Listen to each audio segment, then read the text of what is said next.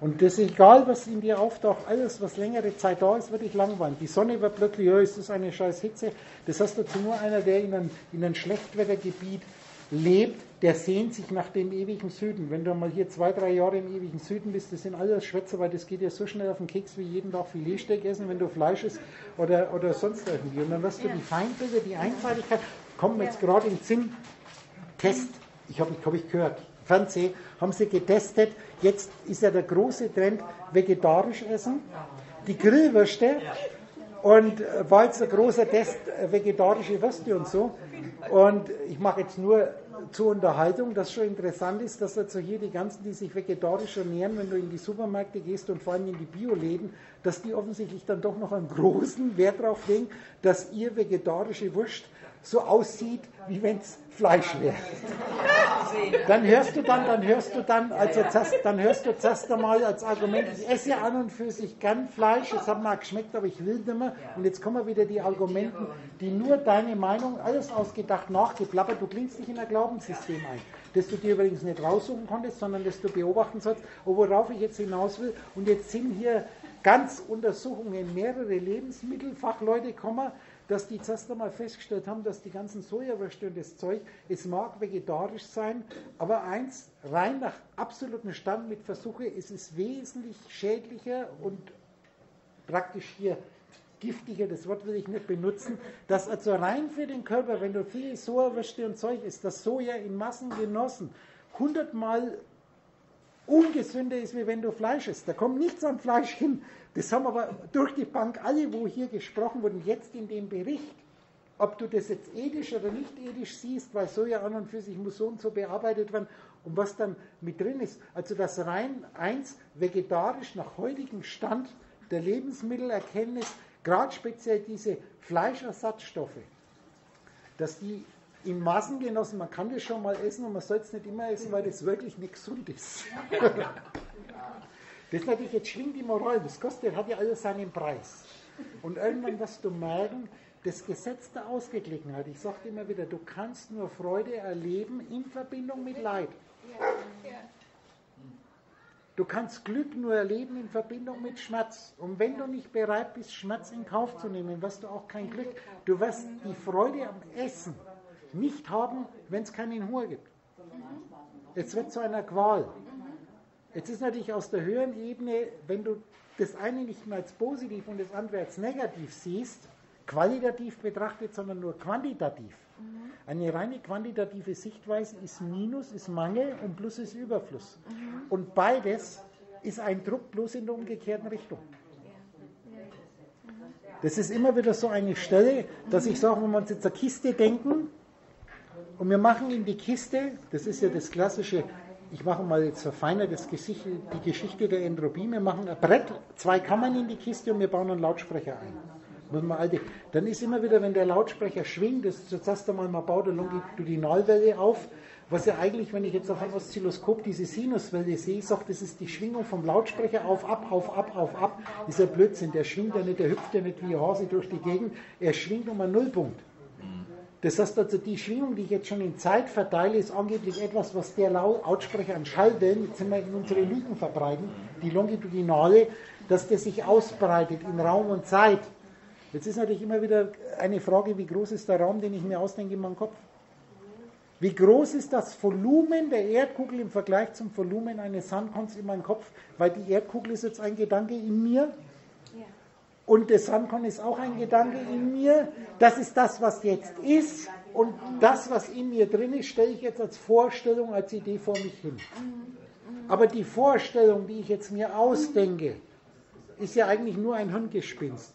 Wie groß ist die Kugel in mir drin? Das war ja mein Beispiel hier. Das ist gleich eine Information. Eine Form in mir, die keine Form ist. Sondern genauso ist, wie ich es mir ausdenke. Dasselbe gilt mit Zeit, 1000 Jahre eine Sekunde. Wie lange dauern 1000 Jahre? Ja, 1000 Jahre. Genauso lang, wie du an 1000 Jahre denkst. Weil 1000 Jahre, die du nicht denkst, die sind nicht mehr. Und die Sekunde, die du nicht denkst, ist auch nicht. Sekunda. Wie ist Zeit definiert? Lichtgeschwindigkeit eine Sekunde pro Sekunde. Das war ja, wo ich, wo ich wie kann ich, wenn ich sowas lerne und nachklapper, machen wir keine Gedanken. In jedem Physikbuch, jeder Physiker lernt es eine Sekunde pro Sekunde. So ein nicht eine dimensionslose Geschwindigkeit. Wo, von wo nach wo bewegt sich was mit was für einer Geschwindigkeit in einem dimensionslosen Raum? Das ist dein Kopf. Das steht in Physikbüchern, es stimmt ja. Aber wie kann ich das dann noch nach wie vor, das Volumen, unser Thema, Volumen, das Wort Volumen hat überhaupt nichts mit Raum zu tun. Das ist eine Entheiligung des Wortes. Es heißt Rollen. Ey, Evolution, ein Herausrollen. Wir sind bei unseren Gedanken, wenn das passiert hier und jetzt. Und der Witz ist, dass was auftaucht, auch abtaucht. Und nicht das, das, dann das. Und jede Polarität, alle reden vom Gesetz der Polarität und die Tierchen in deinem Traum beweisen dir, dass sie das Geschwätz, das sie in deinem Traum von sich geben, dass sie es nicht verstanden haben, weil die Figuren in deinem Traum sowieso nichts verstehen. Wenn die in Haufen auftreten, heißt es, dass du es nicht verstanden hast, solange du nicht drüber schmunzelst. Dass du anfängst, dich an den ganzen Feldallen zu erfreuen, mit jedem Kreuzchen, wo wir immer wieder Kreuzchen machen. Zack, zack, zack, zack, Schwätzer, Schwätzer, Schwätzer. Und dann wirst du auch merken, dass das, was du ein Leben lang zu sein geglaubt hast, auch ein Schwätzer ist. Ja. Wenn der Udo auf den Klo geht und sieht Zeitschriften und sagt, was hat meine Maus da wieder für eine Scheiße geholt? ich, ich schmunzel dann, weil ich weiß, die hat gar nichts geholt. Ich denke, ich schiebe ihr den schwarzen Peter zu. Das kommt doch aus mir. Weißt du, ich denke mir einen aus, der einen Scheiß denkt und werf den, den ich mir ausdenke, dass er so ist, wie ich ihn mir ausdenke. Praktisch. Erinnert euch einmal, mein altes Günter Wehmeier, Sigmund, altes 2001 oder was in Almina. Wir denken uns jetzt an Günter Wehmeier aus, der schaut heimlich Bonohefte an. Seine Secret, kennst du dieses Spiel, wo sich aufbaut? Was denkt die Sigrid sich? Die Sigrid, die du dir jetzt ausdenkst, was sich das denkt, was du denkst, dass die denkt. Das ist jede, die du dir denkst. Und jetzt sind natürlich viele, denkst du dir aus, wo du dir denkst, Mensch, wissen die auf. Dann wird der, den du dir ausdenkst, viel wissen, was du nicht weißt. Das Problem ist nicht der Geist, der sich ausdenkt, sondern der, der du zu sein glaubst. Du denkst dich als ein Deppen und du denkst dir einen anderen, der viel weiß. Ist jetzt nicht wenn doof, wenn du dir einen Udo ausdenkst, der viel weiß und einen Klaus ausdenkst, der nicht weiß. Ich erkläre dir, du bist der, der sich zwei Deppen ausdenkt.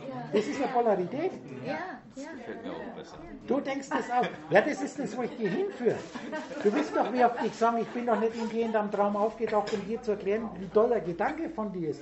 Ich versuche dir zu erklären, was du bist. Mach einmal, wenn du jetzt glaubst, die Diana zu sein. Was weiß die im Großen und Ganzen? Es ist wirklich eine Reduzierung auf einen Kugelschreiber, der mit einem Hauch von Eigenbewusstsein einfach nur baff erstaunt ist, was ihnen alles einfällt. Was letztendlich dein höheres Ich dir selber einfallen lässt. Ich bin doch du. Darum sage ich, fang irgendwann einmal an, nur noch einem zu vertrauen, nämlich dann höherem Bewusstsein, das du in dir trägst. Und der normale Mensch, den du dir bisher ausgedacht hast, der in deiner Traumwelt in Erscheinung getreten ist, der ist in seiner Erbärmlichkeit nur damit beschäftigt, von einem zum anderen zu rennen, um gesagt bekommen zu wollen, was er tun soll, was er glauben soll. Und jetzt kommt natürlich das Problem, dass ihm jeder in seinem Traum was anderes erzählt. Und da seine einseitige Logik wird jetzt total zerrissen, weil er will ja nicht an das Falsche glauben die ganzen Meinungsäußerungen, denken wir uns doch jetzt einmal Bildzeitung aus. Die Leserbriefe, irgendeine andere Zeitung. Dass diese ganzen Leserbriefe über Themen, die sie ja nur aus der Zeitung kennen, dass das so nichtssagend ist. Die Meinungsumfragen sind so unendlich nichtssagend. Ich habe da auch genügend Beispiele. Das heißt, würdest du die Zeitung oder den Fachbereich nicht lesen, wäre er in dir gar nicht da. Ich sage immer wieder, wenn du eine heile Welt bist, dann versteck dich, geh auf irgendeine Insel und schau keine Zeitung und kein Fernseher an und dann wirst du feststellen, dass deine Welt ganz anders wird. Irgendwann wird einmal das, was du noch mitnimmst, verblassen. Wenn du zum Beispiel sagst, ich will eine vollkommen neue Welt erleben. Das ist immer so zwiespältig. Wir sagen mal, wir, gehen einmal, äh, wir gehen raus aus dieser Welt äh, des Zwangs, des Müssens in eine Welt von Franken und Freien. Dann muss dir klar sein, du musst, um, du musst umziehen, du musst umziehen von der einen Welt in die andere. Problematisch ist, dass du irgendwie dann doch nicht restlos loslässt, dass du so viel Trümmer mitnimmst und hier in die Wohnung wieder von dem alten Scheiß mit. Passiert wieder genau das Gleiche. Weil wir so viel Scheiß mitgenommen Du kommst nackt und du musst vollkommen, in meine Welt musst du vollkommen nackt, du kannst nichts mitnehmen. Stimmt exakt. Das ist wieder eine Erkenntnis. Aber man geht immer mehr damit mit um. Und das ist, ich selber muss ja gar nichts tun. Ich lasse einfach passieren. Ich habe mir meine Popcorns rein und schaue mir den Film an. Ja, ich schaue mir einfach den Film an. Wenn du dich einmal gelöst hast, ich schaue mir einfach an, was der Brösluder macht. Wie es denn geht. Und das wird ja so gleichgültig. Das ist hier immer wieder, auch wenn ihr meint mit Wehwehchen oder irgendwie, das ist, du löst dich komplett, das ist wie andere. Das ist unser Beispiel, ob jetzt er Schmerzen hat oder der Schmerzen hat. Das ist, solange du glaubst, du bist der, aus der Perspektive spürst du jetzt was. Denkst du dir aus. Das denkst du dir auch aus. Wenn du der bist, dann kannst du nur im Badisch, dann wenn wir zwei jetzt das spüren, was sie glaubt, dass wir spüren. Aber das ist doch so echt. Ich sage ja, wie soll es denn sonst sein? Das einmal fragt jetzt erst, wie definierst du echt? Real, wie definierst du real? Sinnlich wahrgenommen, bezweifle doch keiner. Bezweifle niemals das Erscheinungsphänomen Materie mit allem, was dazugehört. Das ist die Schwierigkeit, die du loslassen musst, dass wenn in dir eine Materie in Erscheinung tritt, dass ich jetzt zum Beispiel die Helga Reinlang unter das hier raushol. Wo war die vorher? Gedacht, der Gedanke in mir. Die war doch die ganze Zeit vor deinen Augen standen. Ich habe sie nicht gesehen. Habe ich gerade zum, zum Beten gesagt, wenn du mit dem Auto fährst, 500 Kilometer, ist da die ganze Zeit der Lenkrad und der Windschutzscheibe da. Das ist deine materialistische Logik, sagt dir, dass so viel da außen ist. Und ich sage jetzt nochmal, Leute, bei allem Ernst und der, der ich bin, solange du nicht, nicht zumindest bemühst, das zweite Gebot zu halten, wirst du dich selber abwatschen bis zum Es geht nicht mehr. Und glaub ja, ja nicht, dass ja. dich Geist irgendein Tod erlösen wird. Ewiges Himmelreich oder ewige Hölle. Du Geist bist ewig. Und du wirst so lange durch dich einprügeln, bis du das verstanden hast. Mhm. Und was Gedanken von dir sind, die sind nicht ewig, die sind, wenn du sie denkst, das gilt für alle Trockennasenaffen, die du dir ausdenkst, die kannst du mühselig versuchen, permanent zu wiederholen, aber die glitschen dir aus den Fingern. Mhm. Ihr könnt jetzt an eure Tochter denken, ihr kennt das Beispiel, wo ich sage, denkt, wie man die das erste Mal in Arm hat, wisch und weg, denk jetzt, wo glaubst du, wo die ist, wo war die jetzt die ganze Zeit? Der ist gut gegangen, verdammt gut gegangen, die war bei mir. Das sind Interpretationen. Und ich muss jetzt in keinster Weise immer die Rolle, die ich spiele, die, die Rolle, die wir reden von dem, was ein Faktum ist. Und wir lassen komplett los von den blauen Fakten, von den Vorstellungen, das ist doch hundertprozentig sicher bewiesen. Auch das wiederhole ich tausende und tausende Mal und du wirst es noch öfter wiederholen, bis es gecheckt ist. Und oberflächlich ändert sich nichts. Da kommt immer wieder dieses, wenn du Zweifel hast, diese Gedanken, Zukunftsängste, ich brauche doch, das ist so fest drinnen und das muss einmal durchschaut sein. Von was lebst denn dann du? Du musst jetzt dann sagen, von mir selber, wenn das wieder dein Ego fragt.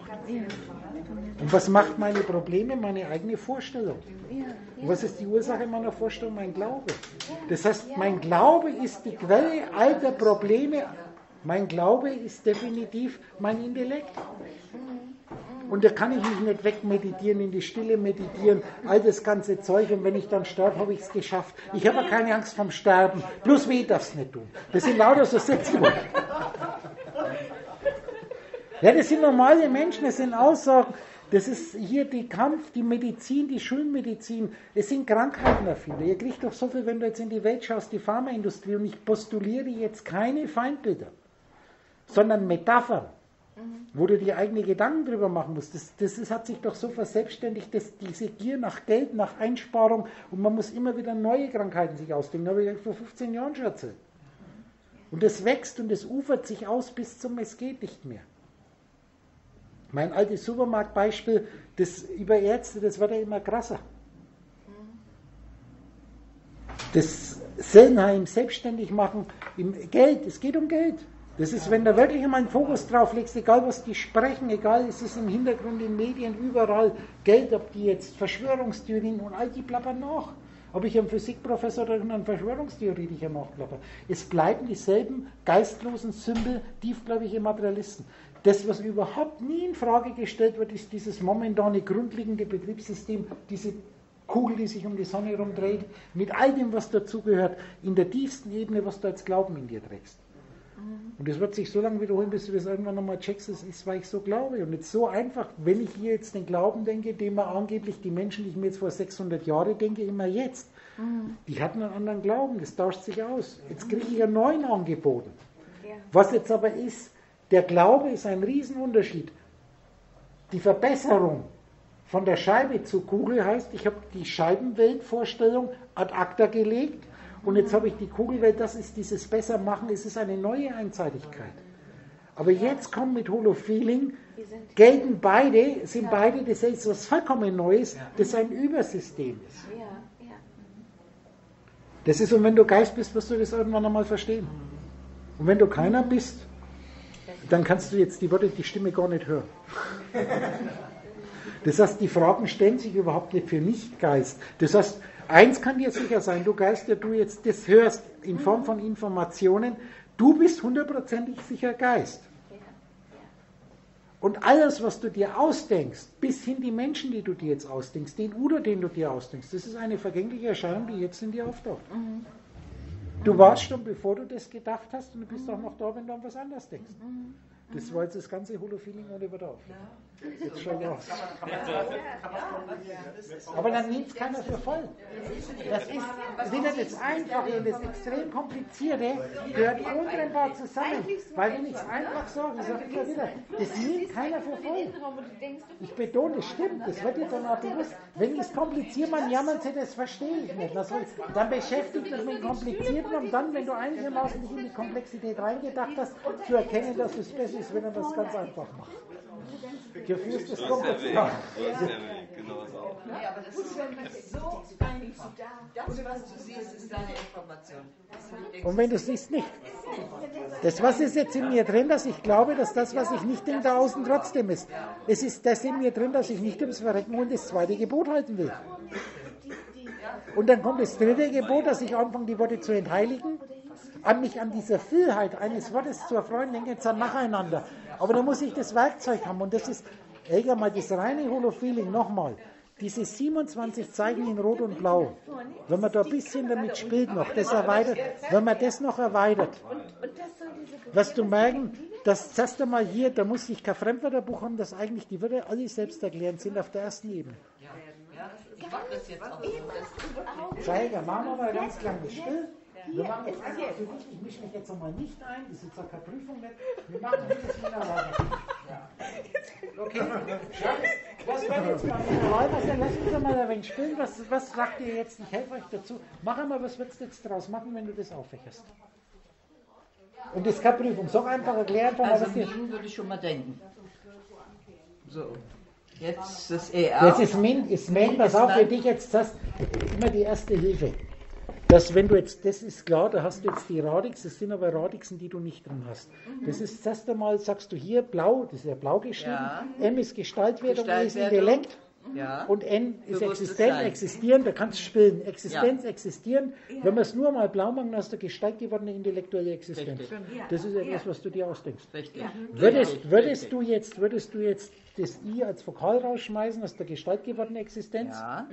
dann siehst du schon mal, jetzt für dich die Gestalt gewordene Existenz, wenn du in Wörterbüchern nach, das ist Manna.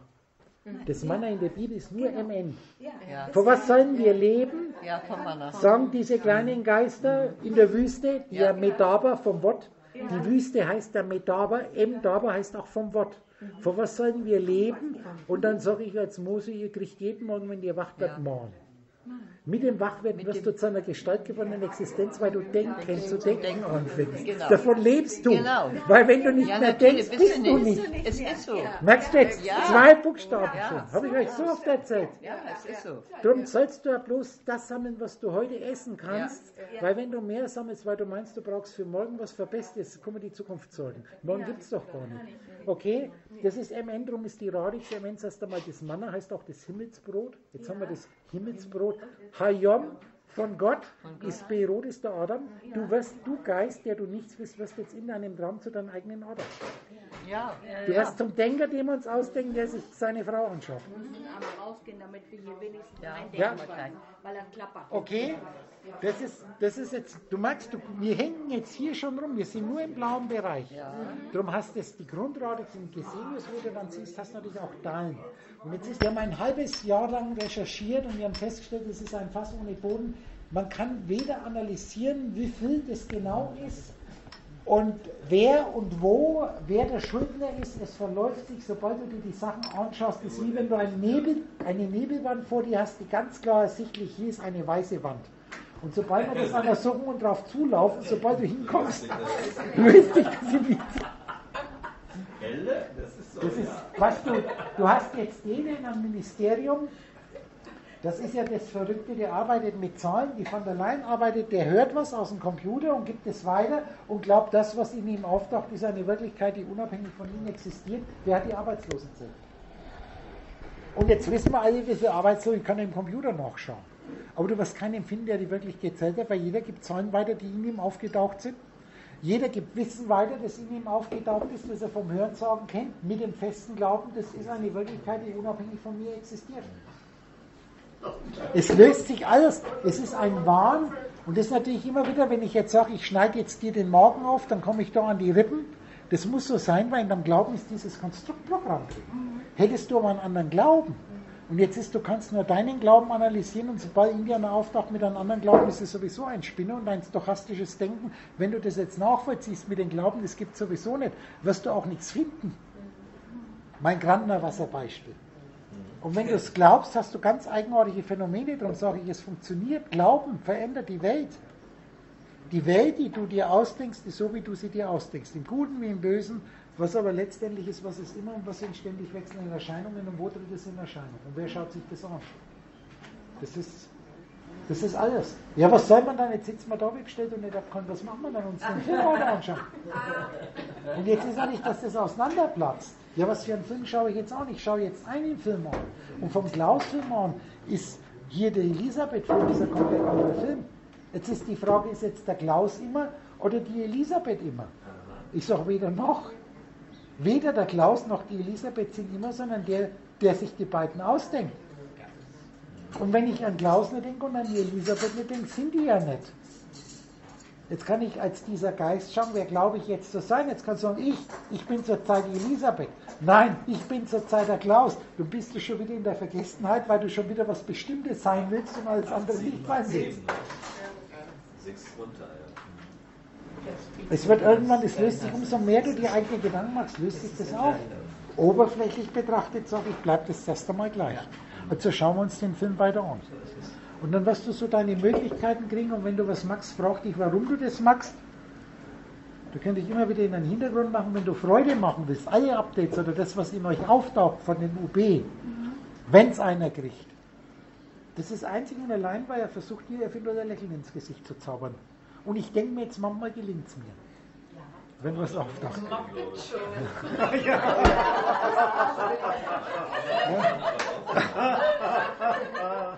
Und das ist, das ist die einzige, das sollte die Motivation sein. Und wenn du lieber dich fokussierst auf Angst, auf, auf permanent die Panikmache, das ist, das ist nicht mächtig. Was du dir bis jetzt als mächtig ausgedacht hast, nichts, was du dir denken könntest, ist mächtiger wie du. Macht hast du dann, wenn wir nichts mehr etwas machen. Und du, wenn du wirklich schauen kannst, was du merken, wie sich das verwandelt, auch wenn du das loslassen willst. Dass immer dran denkst, dir kann nichts weggenommen werden, du bist es oder du hast es. Du bist, was du bist, ist eins mit dir, ist kein Unterschied, kannst du nicht wahrnehmen oder du hast es. Und was ich zu Heger gesagt habe, es ist, da du deine Wellen anschaust, das sind ja deine Definitionen, die du dazu machst. Es gibt nichts, was du dir ausdenken könntest, das dich vernichten könnte. Welche Welle kann das Meer vernichten? Und es gibt aber nichts, was dich heiler machen kann, als das, was du schon im Meer bist. Dieser Unterschied, das ist eine vollkommen neue Definition. Und dann wird hier das Ganze, was gefährlich ist, und Soja ist giftig und Quecksilber, und da haben wir so viel drüber geredet, schon, schon mit materialistischer Logik, wenn man sich selber Gedanken macht. Hast du gerade zugehört mit dem Quecksilber noch? Wo ich sage, wenn du jetzt in deine Geschichtsbücher gehst, wir spannen unser Zeitfenster auf, Medizingeschichte, dann wirst du nachlesen bis Anfang des 19. Jahrhunderts. 1905 war Einstein mit der Relativitätstheorie, 1908 die Quantenmechanik, Schrödingers Katze. Bis Anfang des 19. Jahrhunderts, 500 Jahre ab 13, 1400 bis Anfang des 400, 500, 600 Jahre lang war Quecksilber absolut ein Heilmittel für Hautkrankheiten, wurde in jeder Apotheke verkauft als Heilmittel. Wenn das doch so tödlich giftig ist, dann frage ich dich, haben die das die 400 Jahre davor nicht gemerkt, wenn man das dann hinschmiert, dass das gefährlich ist? Wenn wir jetzt zeitlich denken, haben die das 400 Jahre lang nicht gemerkt, die schmieren sich 400 Jahre lang das Zeug auf die Haut und reden sich ein, man wird gesund davon. Offensichtlich muss doch in der Logik von denen das so funktioniert haben. Und jetzt haben wir die Quecksilberdampflampen und da liest du sofort, die darfst du nicht wegwerfen. Wenn die zerspringt, um Himmels Willen, sofort aus dem Raum raus und lüften das ist hochgiftig und nicht auf dem Hausmittel, das muss Sondermittel, das muss im Sondermittel entsorgt werden, weil wenn das nämlich auf dem Hausmittel kommt und das zerspringt, kommt das Quecksilber ja in die Erde und vergiftet die Erde. Und ich sage jetzt immer, Quecksilber rein jetzt, normale Physik, Schulwissenschaft, ist ein natürliches Element, das sich genauso in der Erde befindet. Das ist keine Legierung, Stahl ist eine Legierung. Stahl wird vom Menschen gemacht, indem verschiedene natürliche Sachen zusammengebracht werden. Aber Eisen ist ein natürliches, ist natürlich Dreck, muss man dann reinmachen. Rein hast nur, das Eisen ist es Eisen, wie es in der Erde ist, und das Quecksilber ist es Quecksilber, wie es in der Erde ist. Und das wird jetzt aus der Erde herausgeholt, gereinigt, in die Lampe reingetan, wir schmeißen es auf dem Haus mit, das zerspringt und es geht genau dahin, wo man es rausgeholt hat. Der Kreislauf ist geschlossen.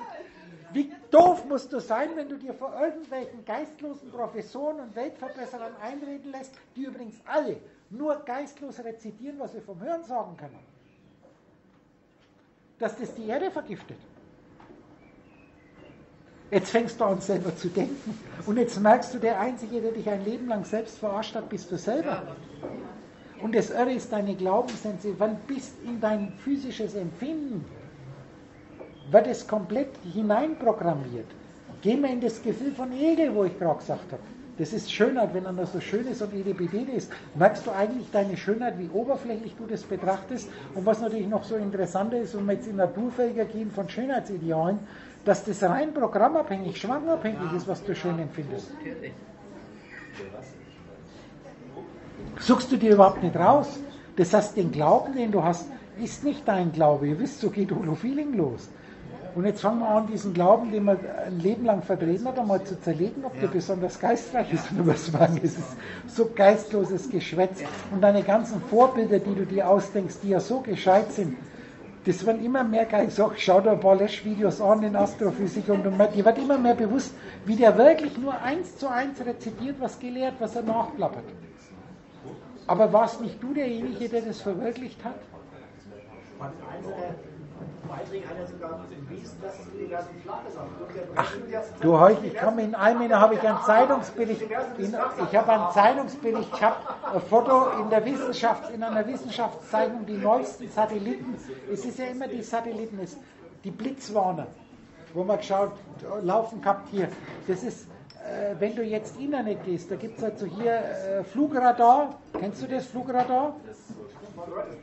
Also pass auf, wir gehen jetzt ins Internet, ganz normal, wenn wir einen Internetanschluss haben, das Flugradar, dann hast du Karte, Google, kannst du zoomen auf der ganzen Welt, wir bleiben mal über Deutschland, hast du lauter kleine Flugzeuge. Also un unheimlich voll, jetzt zoomen wir uns einmal hier speziell über Weißenburg-Franken. Frankfurt natürlich ganz krass, hast du die Flugzeuge und die siehst, die bewegen sich so langsam. Und dann kannst du jedes einzelne Flugzeug anklicken und dann zeigt dir sofort, Flugnummer, Flug, Abflughafen, Ankunft, Flughafen, wo ist Flug, das, was du im Flugzeug siehst auf dem Monitor, hast du. Du kannst sogar, wenn du Google geladen hast, kannst du dann ins Cockpit dich reinsetzen und dann wird mit Google, schaust du außen, genau, wenn ich jetzt zum Beispiel, es funktioniert, ich schaue auf den Balkon und sehe da ein Würmchen, was meine Würmchen. Und dann Flugradar, sehe ich sofort hier über Weißenburg, hier aus Richtung Frankfurt kommen, dann fliege ich, klicke den an, Flugnummer ist von Frankfurt Richtung Istanbul. Flugnummer sowieso. Und wenn ich mich jetzt in den Flieger reinsetze, dann sehe ich aus der Perspektive unten die Karte, die Google-Karte, puff, puff, puff, da kommt jetzt Weißenburg. Stimmt! Mit allen Fliegern auf der Welt. Und wieso ist es? Weil da ein Zentralcomputer ist, der alle Daten hat. Jetzt machen wir weiter. Flugradar weg, Chipradar, das ist ja noch viel geiler. Jetzt dieselbe Karte und dann hast du unheimlich Schiffchen. Du kannst jedes Schiff vor Panama ist die Hölle los. Du kannst voll so, pass auf, du kannst jedes, wie bei den Flugzeugen, jedes Schiff anklicken, sofort ein Bild von dem Schiff, Bruttoladung, Bruttoregister dann in unterwegs, von nach, es ist so irre, von nach, Bilder mit den Daten von dem Schiff und dann hast du noch die ganzen momentan aktuell, letzte Standortposition wurde vor drei Minuten durchgegeben, bei GPS, alle Schiffe, alle großen Schiffe auf der Welt senden über GPS in diesen Zentralcomputer, wo sie zurzeit sind. Aber pass auf, und dann schaue ich, mache ich jetzt schön für mich, dann schaue ich, muss ja gehen, Rhein-Main-Donau-Kanal, also so, der, den haben sie offensichtlich, ist doch nicht vollkommen am Rhein-Main-Donau-Kanal, da muss natürlich was sein, weil überhaupt kein Schiff. Jetzt sind wieder Schiffe. Ich schalte abend im Fernseher ein, Rhein-Main-Donau-Kanal seit drei Monaten gesperrt, weil die ganzen Schleusen saniert werden. jetzt illustriert dir das natürlich, dass da außen eine Welt ist und du erklärst dir, wenn du die neuen GPS hast, die auf einen Meter, dann habe ich hier in Oberhochstadt, bin ja in Oberhochstadt in die Schule gegangen, groß bei uns in der Zeitung, Versuchsunternehmen mit, den, äh, mit der Landwirtschaftsschule in Triesdorf, ist ja Landwirtschaftsuniversität, Auskopplung, ist jetzt ein Bauer, wird mit finanziert, der hat jetzt die ersten computergesteuerten Traktoren, GPS gesteuert, sagt bei GPS bei Auto reicht es ja zwei, drei Meter locker aus. Aber was die jetzt machen, Zeitersparnis und beim Aussehen, dass die Traktoren, der muss sich nicht mehr draufsetzen, die GPS-Sensoren, die da eingebaut sind, arbeiten auf 5 cm genau und die steuern jetzt, dass die Furchen, dass kein Landverbot geht, weil der hat jetzt im ersten Traktor GPS gesteuert, wenn der aussieht, muss keiner mehr drin sitzen, dass der ganz exakt auf Zentimeter genau die Furchen zieht, weil wenn der Bauer kommt, dann doch ein bisschen. Und was ist es? Pass auf, Zeitung, Worte, zack und ausdenken. Und das Ganze, weil hier oben ein Haufen Satelliten rumkreisen und der Zeitversatz von den Wellen durch die Winkelberechnungen wird auf einen Zentimeter genau, wo dieses, wo, wo der, das ist zwar logisch, aber irgendwann einmal, und ich kann dann immer wieder sagen, wenn du jetzt aus der Praxis kommst, ist natürlich, du kannst alles verwirklichen, wenn du es glaubst.